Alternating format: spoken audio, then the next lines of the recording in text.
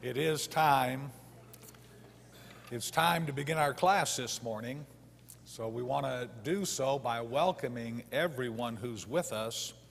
Uh, we have visitors as I look out. We do have visitors. We're blessed again. And so we're always grateful for those who are visiting with us. If you're from the community, please come back and be with us. Uh, we'll be coming back tonight at 5 o'clock to study again from the Word of God.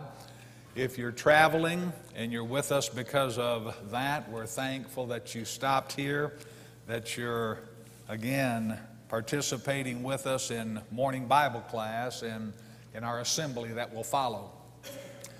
For this quarter, we've been looking at growing, and specifically, we've been looking at 2 Peter the first chapter, verses 5 through 7. Now, as I've indicated in other studies, uh, we're also going to be expanding that next Sunday, looking at what happens when we lack these qualities and also what happens when we abound in these qualities. So, we're not only looking at verses 5 through 7, but that's where we find the Christian graces those virtues that we are to add to our faith.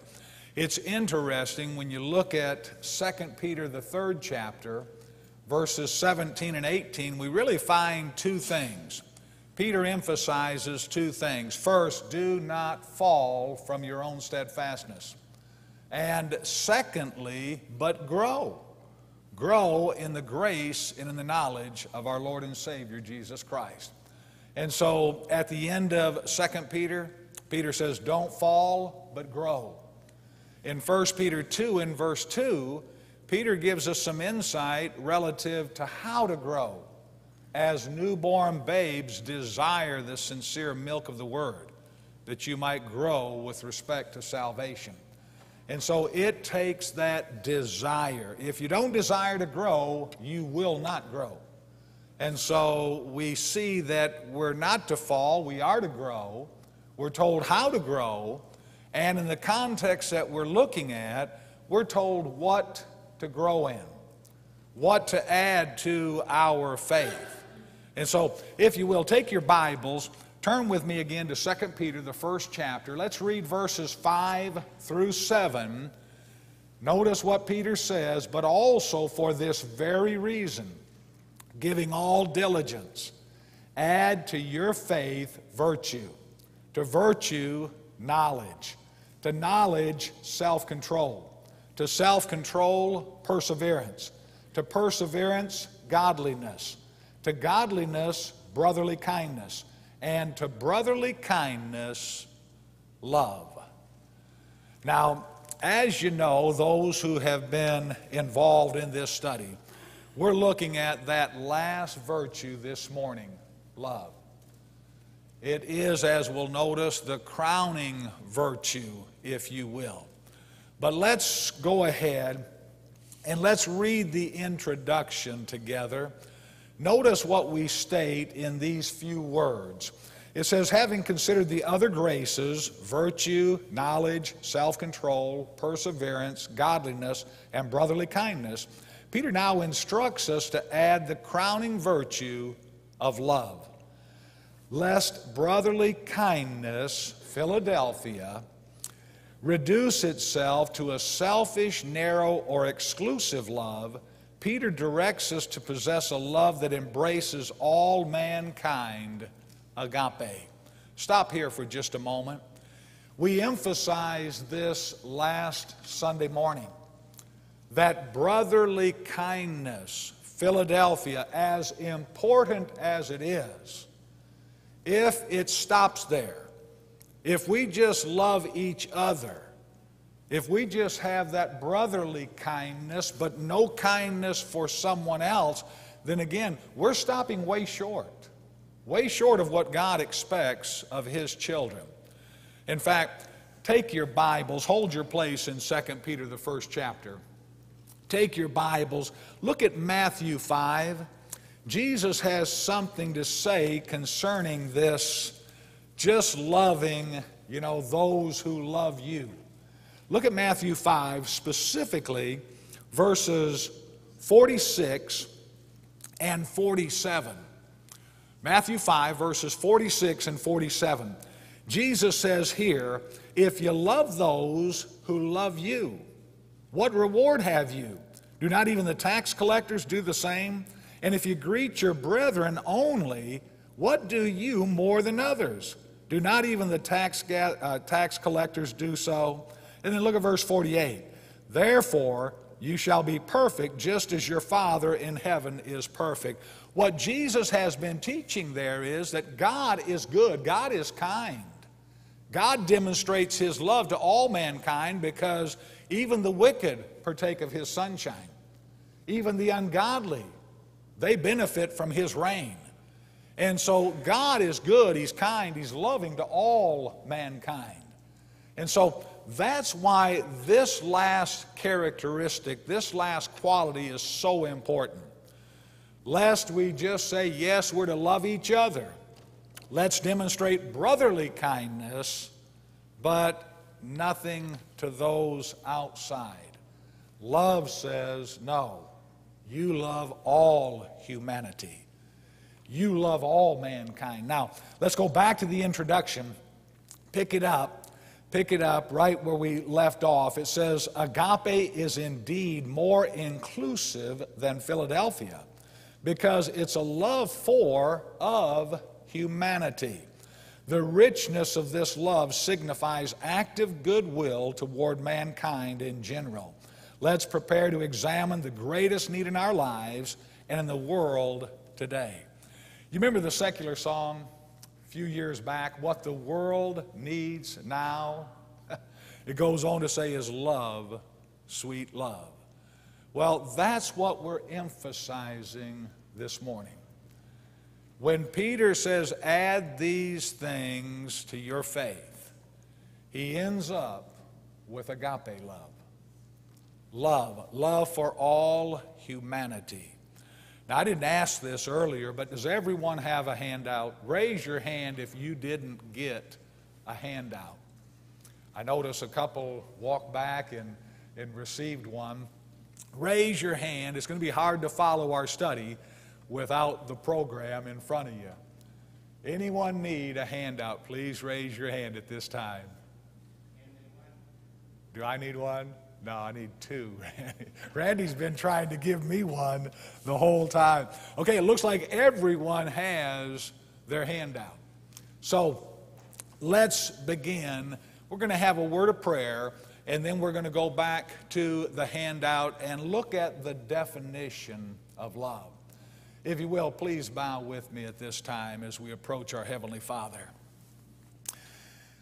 Our Father who art in heaven, Hallowed be your great and your majestic name. Father, we stand in awe this morning, having viewed your creation, seen your sunrise, partaking of your air that you've given us to breathe. Father, we know your goodness, we know your kindness. We know and have demonstrated, or at least has been demonstrated to us, the great love that you have for mankind.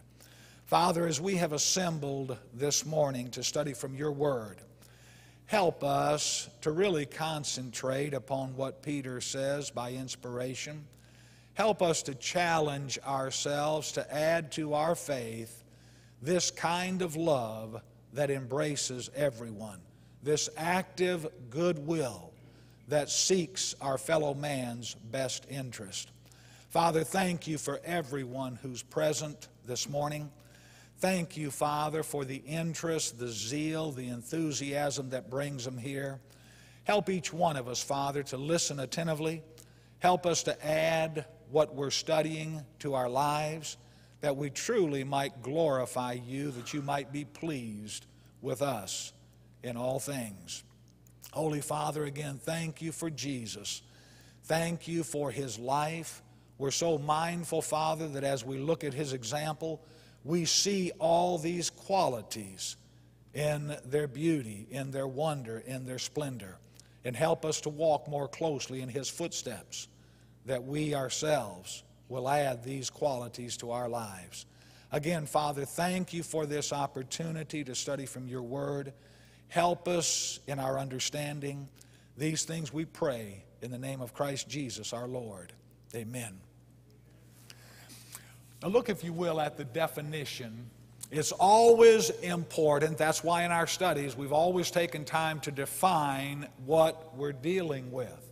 And so, once again, the definition, begin reading it with me. It says in the Greek language, there are four words that describe our English word love. Eros expresses sexual desire or sensual love.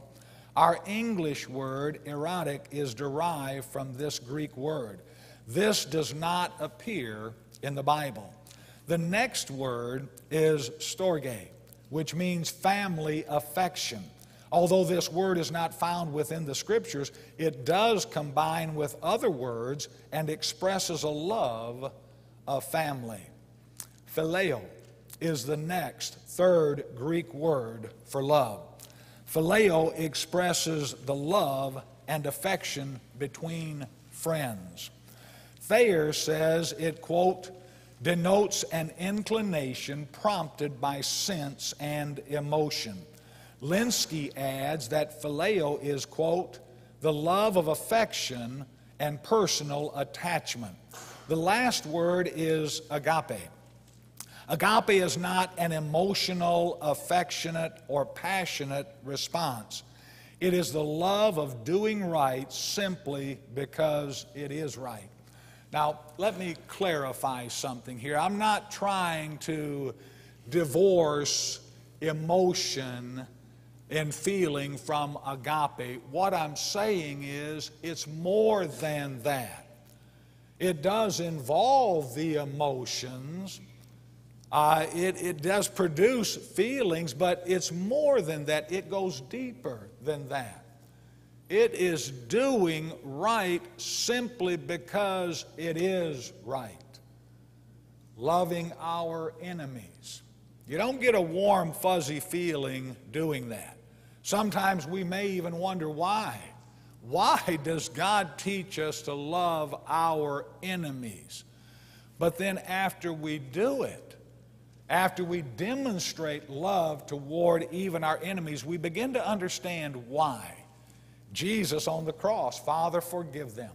They know not what they do. Luke 23 and verse 34. And so we're saying that agape love goes deeper than the rest. While it involves the emotions, it's not simply an emotional response. And so, continue with me. Notice what we've said here. Agape love is not a mere feeling. It is not simply an emotion, but is rather a commitment of will. Underline that. Underline. That's what agape love is. It is a commitment of will. When God tells us to love each other, to agape each other, again, this is a commitment of will. This whole idea, well, I just don't love them. The Bible says, no, you're commanded to love them. It is a commitment of will. I'm going to love them because my Father in heaven has commanded me to. Well, pick it up again. It is a disposition of the heart, a mental resolve, and a consistent way of thinking and acting. And so think about what we've just said a commitment of will, a mental resolve. Those are important when we talk about Peter encouraging Christians to add to their faith ultimately and finally love. Look at the next point here. In 1 Corinthians 13, Paul's great chapter on love, he does not describe how a loving person feels, but what a loving person believes and how they behave. Remember what we said? It's more than simply an emotional response. It's more than simply a feeling. In 1 Corinthians 13, Paul doesn't get into how the loving person feels, but what he believes, and because of that belief, how he acts, how he behaves, what love does, and what love doesn't do. Notice again The next point here agape is a determination of the mind producing deliberate conviction and policy of life. The next one, Lenski's description is noteworthy in that he says, quote, love of intelligence, reason, and comprehension, coupled with corresponding purpose. The next point agape love is not a compulsory compassion, thus, I have to. This is not the kind of love that Peter is encouraging now. Just a compulsory compassion. I'm going to quote love because I have to, and that's the only reason. Now, it's more than that. Notice the next point. Agape love is not merely a conscientious compassion. Thus, I need to. Now, again, stop here for a moment. There is a sense in which, yes, I have to and I need to, but it's deeper than that. It's because we want to please our God, because we first love Him, and He teaches us to love others. And look at this last point here agape love is a Christ like compassion. It is a love for the unlovely. I like that. That's where we stand, in one sense, before God. Because of sin, we have made ourselves quite unlovely. But guess what? Even in that state, God loves us. God sent His beloved Son while we were sinners. And so God demonstrated that love to us. We need to demonstrate that love to others. A love for the unlovable at times, the unlovely. You remember, we put down the passage. Now, we're not going to go there and read it in Matthew 5. We've read part of it already this morning. But again, this is when Jesus is showing that the Father's love is so deep, it is so inclusive, that once again, he blesses, at least with physical blessings, even the wicked, even the ungodly. He sends His sunshine, He sends His rain. He cares about humanity. And again, that's when Jesus said, if you love those who only love you, you know, what big deal is that? Everyone does that. The tax gatherers do that. And so, but if we want to be perfect, meaning complete, whole, we need to love as our Father loved a complete love, a true interest and compassion for humanity. Not just brotherly kindness, certainly we love one another, but it's a love that extends beyond this auditorium, beyond one another. We care about others, we care about humanity. Again, remember Galatians 6 and verse 10.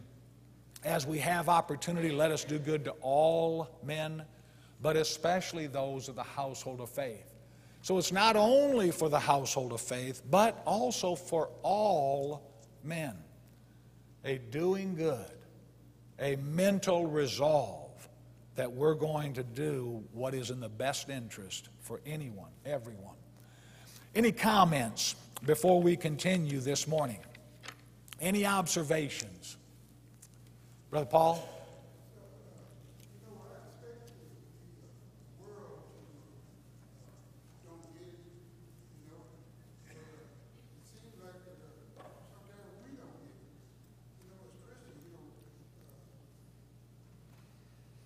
Okay?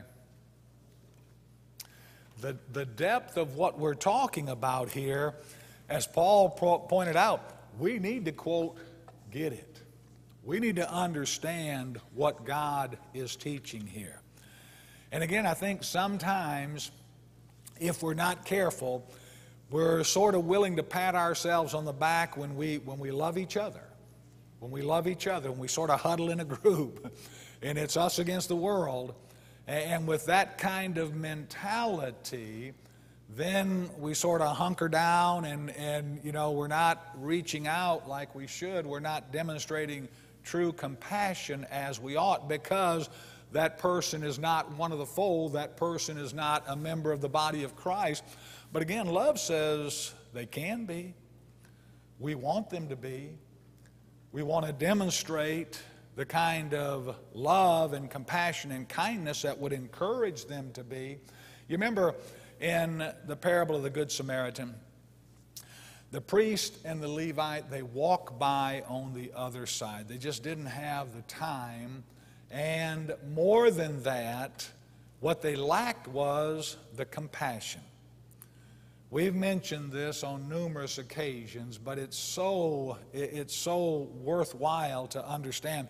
Like Paul, Brother Paul just said, you know, the priest, the Levite, they didn't, quote, get it either. Again, if everything's convenient, yeah, we'll show compassion. Uh, you know, if it's a person we like, yeah, we'll show compassion. But here's someone truly in need. Here's someone left to die. And the priest and the Levites see him walk by on the other side. The quote, other side religion will not cut it. Jesus didn't walk by on the other side when he saw our needs. He came to this realm, he gave himself on a cross. And again, that Good Samaritan, he felt compassion. He had love for this evidently stranger. Didn't do what he did because he knew the man, didn't do what he did because it was a neighbor, a fellow Jew. Remember, this is a Samaritan the Jews and the Samaritan had a great animosity towards one another. But that Samaritan got it. He understood this is a fellow traveler in life. He's on the same journey I am. We're occupying this same great realm. We're here in the image of God. And so here's a fellow man in need. What am I going to do? I'm going to demonstrate a love for him, a compassion for him. And so, as Brother Paul says, yeah, sometimes we get it, but when it comes time to apply it, we don't want to get it. We don't want to apply it because it's going to demand something of us. Some of our time, some of our energy, some of our money. But again, this agape love so very important. Stephen?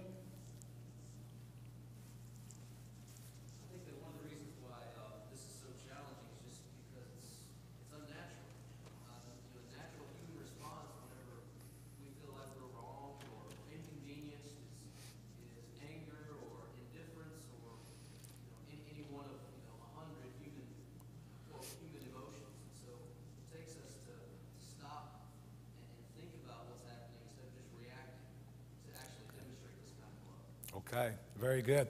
And this becomes, the more we become Christ like, guess what? The more natural, quote unquote, this becomes. You remember in Romans 1, Paul says they were without natural affection. Well, affection is natural, but again, it's what we've already said Usually, that quote, natural affection just simply extends to loving those who love you, greeting those who greet you. That's easy. And as Stephen points out, what we really need to grow is in the compassion and love when someone makes themselves our enemy. Now, what do we do? Now, how do we respond? Again, when it's a person different from us? Are we filled with prejudice or are we filled with compassion? I know what the Bible teaches us to do. And so these are areas that we have to challenge ourselves to grow, lest we just be like the world and go through this realm loving those who love us, and that's about it. Turn with me, if you will, to John 15. I think it's John, the 15th chapter. Look at verse 19. We've already read a verse in connection with this mindset, but look at John 15 and verse 19, and you'll see that Jesus had a lot to say about this other kind of love the love that only loves those who love you, the, though doing good to those who do good to you, greeting those who greet you. Well, look at John 15 and verse 19 again. If you were of the world, the world would love its own. Yet because you're not of the world, but I chose you out of the world, therefore the world hates you. You see what Jesus is saying? If you were of the world, the world would love you because that's the extent of the world's love. They play by the rules that if you love me, I love you. If you're nice to me, I'll be nice to you. If you greet me, I'll greet you. But if you don't love me, I'm not going to love you. If you don't greet me, I will not greet you. That's the world's concept. But again, the Christian's concept supersedes that. The Christian standard is not what everyone else does, but what our Savior has done. We're to walk in His footsteps, we're to become more like Him. Now, look, if you will, look at this next point here where it says probing deeper. This is interesting to me. Notice it says, What important truth can we deduce from the following verses? Now, take your Bibles, follow with me to each one of these contexts. The first, Galatians, the fifth chapter. We want to read verses 22 and 23. And notice, notice every one of these contexts is going to have something to say about love. The love that we're talking about this morning, agape love. Look at Galatians 5 22 and 23. It says, But the fruit of the Spirit is love, joy, peace, long suffering, kindness, goodness, faithfulness, gentleness, self control. Against such, there is no law. And so the fruit of the Spirit, it begins with love. Well, look at the next verse that we put down there in 1 Timothy. 1 Timothy 6. Look, if you will, at verse 11. Verse 11 Paul, writing to Timothy, says, But you, O man of God, flee these things. Now, the these things he's talking about, he's just mentioned the love of money. Okay? But you, O man of God, flee these things and pursue righteousness, godliness, faith, love, patience, gentleness. Again, love is mentioned.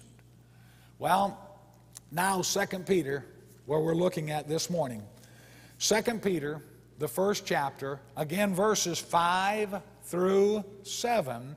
Read it with me again, but also for this very reason, giving all diligence, add to your faith virtue, to virtue knowledge, to knowledge self control, to self control perseverance, to perseverance godliness, to godliness brotherly kindness, and to brotherly kindness love.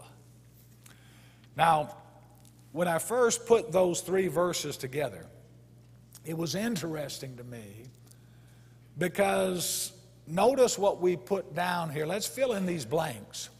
it says love, agape love, should be blank, blank, and blank in between. Well, noticing these verses, let me suggest this. Love, agape love, should be first, that first blank, fill in first, that next blank, last, and then that third blank, and everywhere in between. That's really what we've just looked at. In Galatians 5, verse 22, love begins that list. It's first. But in 1 Timothy 6 and verse 11, it's right there in the middle. And then in 2 Peter 1, verses 5 through 7, it brings up the end because it's the crowning virtue, it's the crowning grace. So love ought to be first, last, and everywhere in between. I was in a Bible study one time, pretty recently, and the man was talking about uh, 1 Peter, I mean 2 Peter, the first chapter, and he made a, a big emphasis on love rounding out that list